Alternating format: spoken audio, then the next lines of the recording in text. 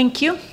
So we've heard um, our panelists, and now we are opening for questions. We would need to finish in 20 minutes sharp, uh, because there are other events that are taking place, and some of us would need to go and attend those events.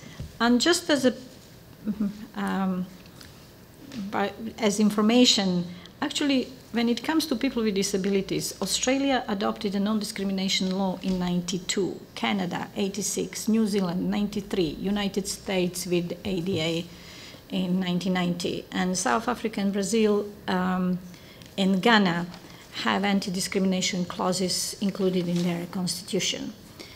Uh, there's also some evidence of what works and what it doesn't, what doesn't when it comes to the implementation of anti-discrimination laws. But again, I am promoting the book. You can have a look at this report. Um, now we are opening for questions. Three questions to start with. Rasmus? So thanks for three wonderful and, and interesting uh, presentations.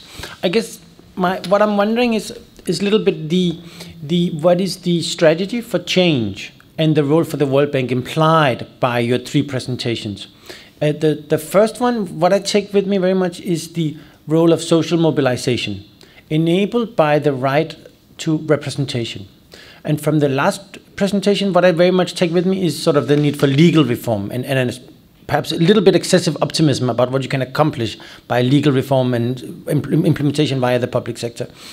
And but but I think Maitri also reminds us that there's a third um, um, driver of change, which are mindsets. And mindsets do change, culture change in ways we don't we often don't understand very well. And and, and sort of so putting these three aspects together, the social mobilization, legal reform, and just mindsets of people that change over time. I, I think we need to think a little bit about how those three areas play together how they can and, and uh, mutually reinforce one another, and how strategically agencies such as the World Bank can can promote these these processes. Thank you, Rasmus. Dina. So first, I, I, just wanted to thank all the three panelists for coming. To me, this was super exciting because I was um, uh, on the um, other side of these papers over the last year. All these authors wrote these wonderful papers, which we drew on substantially for the World Development Report. And as I was reading them, I, I sort of had this fantasy that someday we'd get you all together so, to have a, um, a live conversation because I think these presentations really speak to each other really well. I mean, we have the sort of broad um, discussion of um, the social and economic context of discrimination related to inclusion ex exclusion um, from Maitreyi, the um, legal perspective um, from Sandy, and then from Marty, how in the real world, groups that we wouldn't anticipate would be able to access legal mechanisms really can when, as, as um, uh, we just heard, uh, supplemented with um, some tools for voice and, and, access to collective action. So really uh, thanks uh, all of you and thanks to the Nordic Trust Fund for making this um, uh, possible. Um, so just two questions. One is um, on terminology, um, and, and, I think th this is mainly for Maitreyi, but, but maybe others have views you use the term exclusion and you're writing an inclusion report, um, but the how do you think about the distinction between exclusion and discrimination. Um, so when I was working in the ECA region on the Roma issue, um, we found it um, politically unacceptable to talk about discrimination because that stepped into the world of um, legal uh, um, terrain, and so it was much safer to talk about exclusion, which you know didn't necessarily point a finger to any particular party. So I'm wondering um, how uh, we should be using those terms and how you think about them.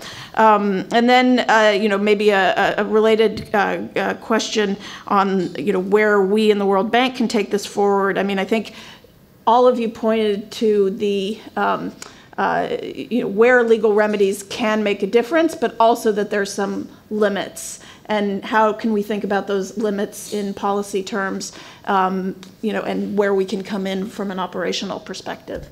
So thanks again. Thanks, Dina. Excellent question. I also wanted to add to the terminology, the, uh, it seems to me that deprivation uh, is often used as a synonym with, uh, or discrimination is used as a synonym with deprivation and uh, where one ends and the other starts, it's really a question because it seems that um, from the presentation, all issues related social, uh, to social and economic status of various groups of the population, from poverty to outright abuse of uh, domestic workers, are included as discrimination. And I think that's for operational purpose that needs to be more uh, uh unbundled. Uh, please go ahead. We'll have okay, we have two more candidates, and then this that is for the questions, and then we go uh, with answers. Please, can Thank you please you introduce much. yourself? I, go back with inspiration on big ideas, good tools, techniques for the operation work. So thanks, Dan. But there is one puzzle that remains, and I want to hear from the panelists and what they think. The two biggest forms of discrimination are informality and women's participation in the labor force. We know Martha talked about informality being exceptionally persistent. It hasn't really shrunk it has remained large. But when we open up the informal sector and take out men, it actually shrinks. So a large proportion of women are joining the informal sector. So the combination of women's participation in the informality and the informality with its own discrimination has become a big paradox. Why might this be happening? All right, so two more and then we wrap up. Uh, thanks, three great presentations. I'm Anders Salem from the Nordic Trust Fund.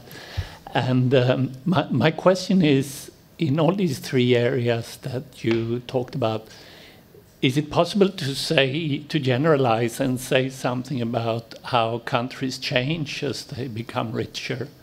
So in the case of um, informality, for example, is does the size and the composition of the informal sector change in a country as it becomes richer? Or if you compare rich and poor countries, what's the difference? Similarly, in discrimination, is uh, as a country becomes richer, do we all become more reasonable and get along better and discriminate less? and um, the laws also do they do they change over time?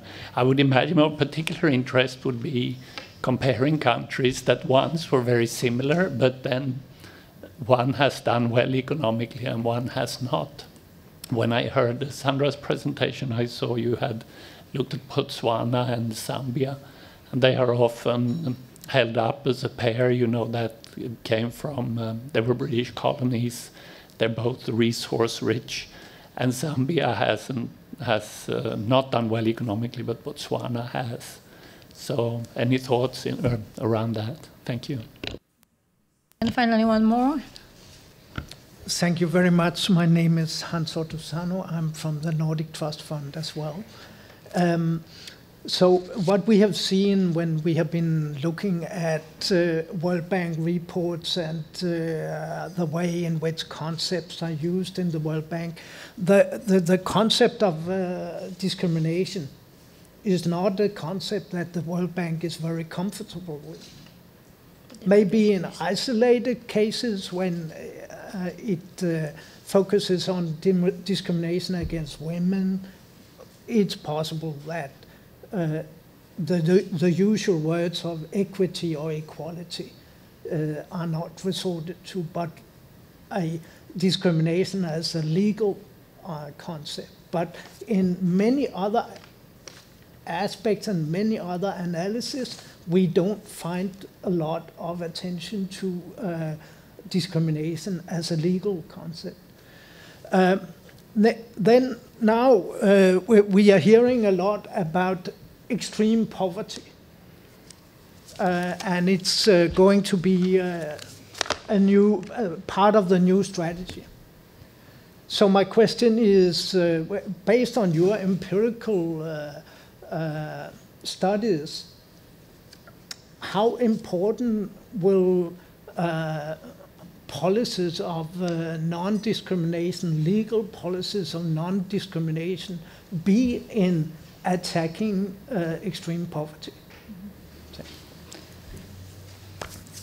Thank you. Okay, so we try to answer your questions uh, in bundle very quickly. So we start with Marty. okay. Um, Well, thank you for the good questions, and I won't be able to address all. In terms of strategy for change, um, what I would say, in addition to the social mobilization, um, you do need information and data. You need to make all of this explicit, uh, whether it's discrimination because of informality or other forms. Um, so we believe very much on data, on research, in addition to the social mobilization. Um, you also have to reframe how people think. You have to come up with some alternative ways of thinking that the informal is normal or whatever in order to change the mindsets. And then you get to the legal reforms or the other kinds of reforms. Now, in terms of the role of the World Bank, uh, who am I as an outsider to say? But I did have a quick meeting um, just before this session with people in the urban development section of the South Asia region. Now, all these groups, um, the practices and policies and regulations of cities are totally threatening at this point to all these groups that I'm, well, less so the domestic workers, but certainly street vendors. And so I think we have to say that it's not just law, but it's also economic policies. And so long as the informal is seen completely as illegal or avoiding regulations, rather than saying that's part of the informal, but the bulk of the informal are working poor trying to earn an honest living. The, all of the, the policies are biased as well. It's not just laws. And so we have to move into the policy realm. And if you take a constitutional court judgment like in Bogota, that has to be then made into a policy and a scheme by the city. So, and that the World Bank is completely in that world of economic policy. And so I think we have to um, there is a big role um, for the World Bank. Um, I'll just answer one other, um, the extreme poverty question and, um, and the new strategy. For those of us who work on poverty, and I work in South Asia, which has a lot of poverty, the fact that employment and jobs has only now been put on the agenda as helping to reduce poverty is, is like missing the nose on your face as far as we're concerned. The first MDGs had no target on employment at all, right? So I'm really happy that employment is on the agenda. But the only way for the poor to come out of poverty, they, what they have is what they earn, whether it's remittances or the direct earnings. And so jobs are absolutely central, right? And so long as we're not creating enough formal jobs, we have to not undermine the informal jobs. And the trouble is, in cities around the world, they're deindustrializing, so we're not creating jobs. And the cities are completely undermining the livelihoods. A city I know very well in, in India, Ahmedabad, 100,000 vendors if the city goes through with all of the schemes it has, whether it's riverside development, model roads, heritage sites, bus rapid transport, at least one third of those vendors have lost their jobs. And they're not, so it's at the heart of the matter is to look at at these workers and what they do and try to support them in some way, which requires a different mindset. That not all cities need to look like Shanghai, thank you very much, or Singapore, but we should have the informal next to the formal. We've got to have it. Otherwise, we have a catastrophe. Thank you. Uh, Metri? Um, so quickly, I, I'm, i think what I'm going to do is to sort of put uh, Hans Otto and, and Rasmus's questions together, and it's a little bit about okay, so what does this mean for the bank? And um, you know, and we often get asked that, oh, interesting, but what does this mean for the bank?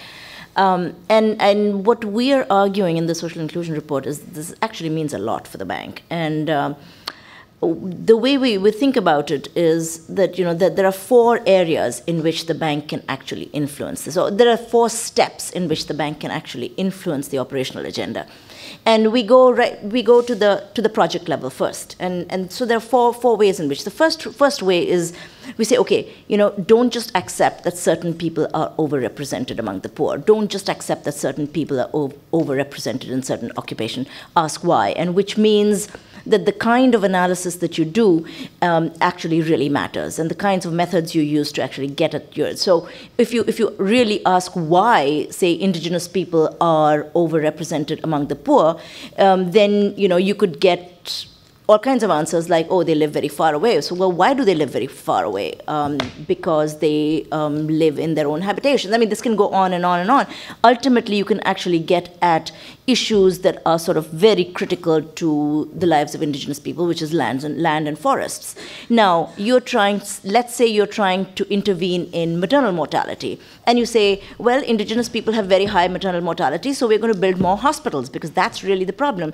Well, as it turns out, you may be completely missing the point there, and hospitals is not what you need at all, and you may be hitting the issue of maternal mortality with a very blunt instrument if you are only building more hospitals. And there's there's you're just going with a supply side fix to it. So um, i think asking why and getting at the real real issues of discrimination are, is, is very central and then affects the design. So then we actually go into into discussing, you know, what are alternative design options? And as as Marty was saying, you know, there could be alternative desi design options, say in urban zoning policies or in um, you know in slum upgradation. There could be alternative design options, and then there are alternative monitoring options. So the chances are that the places that you're talking about, or even or discrimination, you have no data. You don't have a baseline. You don't know what to start with. So if you're going to start with very typically a baseline of zero in your in your results um, matrix,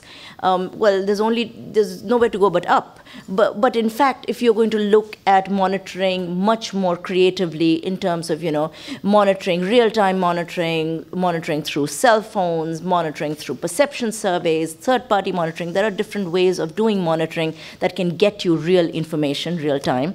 And finally, you know what do you do with all this grievance that is accumulating? So what do you do when you realize that your monitoring framework is showing that you're you're actually not doing so well? What do you do then? So there are there are sort of four stages in which you could actually potentially influence. And the other level at which you can influence is much more at a policy level. So whether it's you know through CPSs or through policy discussions, um, I think many of our policies are exactly as as Hans Otto says, they're discrimination blind. So um, you know you're actually talking about something else when you really mean discrimination, but you're not saying discrimination because it's not kosher to say discrimination. And you know in, in our work we actually find that you know it's all right to say it because the whole world is saying it. And um, it's, I think it's only in certain kinds of documents or with reference to certain countries when you're being too explicit, you have a, you have a problem. But I don't think there's necessarily to shy away from, from some of that. But I'm not going to answer the more difficult question that Dina raised, which is the, the issue of exclusion and discrimination, although we do have, we do have ideas about, you know, you know, something being a process and something being an outcome. And discrimination falls a lot in the idea of process and uh, in terms of practice, whereas inequality falls very much in the idea of an uh, of an outcome. Exclusion falls somewhere in the middle in that it can be a both outcome as well as a process. So um, that's that's the way we try and separate it out. Um, it's I think much easier to say deprivation uh, to separate out discrimination and de deprivation. And we give the example of a of a gay man who is actually a rich gay man who is living in a rich neighborhood. So poverty doesn't affect him, inequality doesn't affect him, but discrimination affects him. So um, he's not deprived in terms of material deprivation, but he may well be deprived in terms of other forms of um, deprivation. So I'm going to stop there and. Uh, Thank you, Maitri Sandy. And not answer Ijaz's question, which I'm going to leave to Sandy. Because I don't have an um, answer. Well, thank you for some really fascinating questions, and many of them have, have been dealt with. Um, the, the first question is how legal reform mindsets and social mobilization fit together. And you talked about excessive optimism about legal reform. And I, I think one has to think about legal reform as law is not just about penalizing, but also about giving messages. And so law also has an expressive function in a country. And if you, you have de jure discrimination, it, um, and if you don't have proper laws about discrimination, you're also giving messages about what's okay and what's not okay. So I think legal reform and mindsets work closely together. It might be useless if you don't also influence the mindsets. And that's why, and this also in a way hinges, uh, imp- impinges on Dina's point about you don't want to say discrimination because it, it, it seems to infer fault. Um, what we also want to move into is fourth generation legal reform, which is to say that you, you agree that it's about systemic change and you put the initiative on those who can bring about change to actually do so, even though you're not attributing fault, you're just re- attributing responsibility because you are in a position to bring about change. So I think, and legal reform works best with social mobilization. They all have to work together. Where we start is difficult to say, but I'd just like to add into the picture that many, of, many countries have actually signed up to international conventions. Um, they've signed up to CEDAW and CERD and the ILO conventions, the Disability Rights Convention, and so they do have, there are already international structures which ought to be impelling, that's a start of the change, they ought to be impelling countries to bring about legal change. Um, and we, we have to think about that.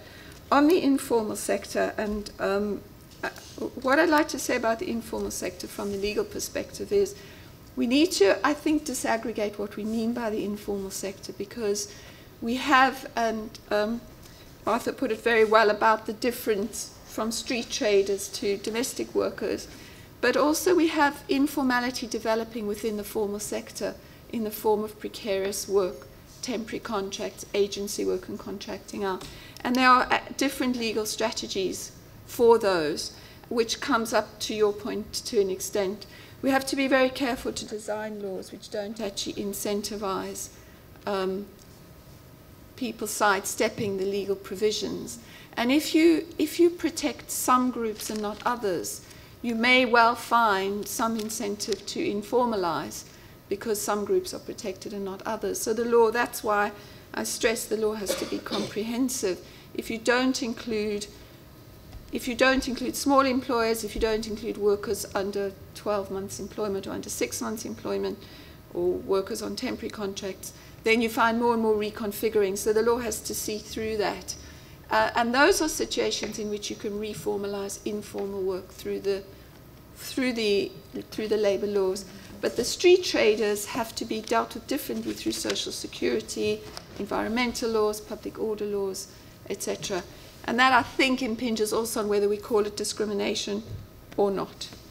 So, Thank you. So you want to stop, but Thank you to our presenters, to Marty, Sandy, and Metri. Thanks to all you, of you for being interested and uh, staying uh, for the entire uh, session. Uh, it's been fascinating, and we learned a lot, I think, and a lot of food for thought how we take this on into our operational work. Thank you.